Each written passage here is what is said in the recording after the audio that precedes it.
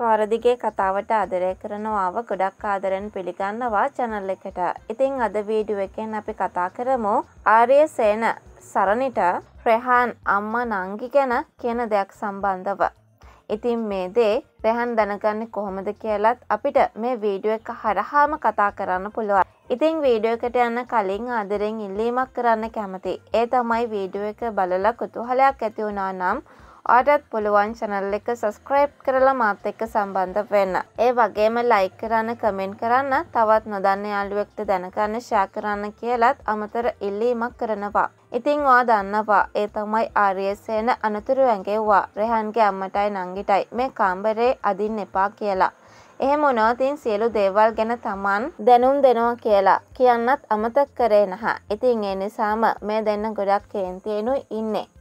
ඉතින් ඒ නිසාම ඉදිරියේදී රෙහන්ගේ අම්මයි නංගි ආර්යසේනටත් උගුලක් අටවන්න නියමිතයි කියන දේ මේ වෙලාවේ කියන්න ඕනේ. ඉතින් ඒ උගුලක් අටවන්න කලින් ආර්යසේන සරණිට මෙන්න මේ වගේ දෙයක් කියන්න පුළුවන්. ඒ තමයි ගෙදර කුමක් හෝ දෙයක් රෙහන්ගේ අම්මටයි නංගිටයි හොයාගන්න පුළුවන් විදිහේ රහසක් සරණි ගැන තියෙනවා නම් අනිවාර්යයෙන්ම ඒ හැමදේම වෙනස් කරන්න කියන එක ආර්යසේන මෙතනදී සරණට උපදෙස් ලබා දෙනවා. ඒ වගේම තමයි රෙහාන්ගෙන් සරණිව ඈත් කරන්න රෙහාන්ගේ අම්මයි නංගි කුමක් හෝ සැලසුමක් ඉදිරියේදී හදාවි සහ ඒ සැලසුම නිසාම රෙහාන්ගේ අම්මටයි නංගිටයි පුළුවන් වේවි සරණිවයි රෙහාන්වයි ඈත් කරන්න. ඉතින් ඒ වගේම තමයි මේ ඈත් කිරීම නිසා මේ දෙන්නට හැමදාමත් කරදර කාලයකට තමයි මුණ දෙන්න වෙන්නේ.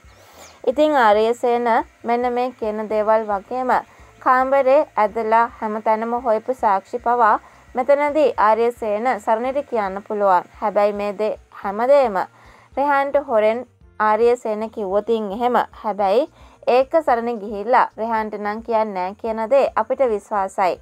හැබැයි ඒ වුණාට ආර්යසේන සරණි කතාව අනිවාර්යයෙන්ම අහගෙන ඉඳීවි. ඒ වෙන කවුරුවත් නෙවෙයි රෙහාන්. ඇත්තම කියනවා නම් අහගෙන ඉන්නවටත් වඩා එළියට ගිහින් එන ගමන් හිටපු රෙහන්ට මේ ගැන හොඳින්ම ඇහෙනවා. ඊට පස්සේ මේ දෙන්නගෙම ප්‍රශ්න කරනවා. එතකොට තමයි දැනගන්නේ අම්මයි නංගි Taman ගැන වගේම සරණි ගැනත් මේ වෙනකොට ඔත්තු බලනවා, රහස් හොයනවා.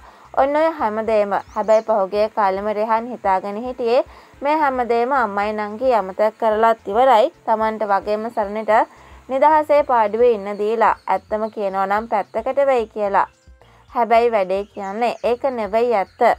අනිවාර්යයෙන්ම මේ දෙන නිරන්තරයෙන්ම තමනුයි සරණිවයි ඈඩ් කරන්න උත්සාහ කරනවා කියලා දැනගත්තට පස්සේ රෙහන්ට පුළුවන් වෙන්නේ එකම එක දෙයක් කරන්න. ඒ තමයි තමන්ගේ අම්මටයි නංගිටයි ගෙදරින් යන්න කියලා සරණිත් එක්ක නිදහසේ ඉන්න තීරණය කරන්න. මොකද එහෙම නැති වුණොත් වෙන්නේ රෙහන්ගේ ජීවිතේ සරණිව නැති කරගන්න සිද්ධ වෙන එක විතරයි කියන දේ රෙහන් මේ වෙලාවේ විශ්වාස කරන්නත් පටන් ගනීවි.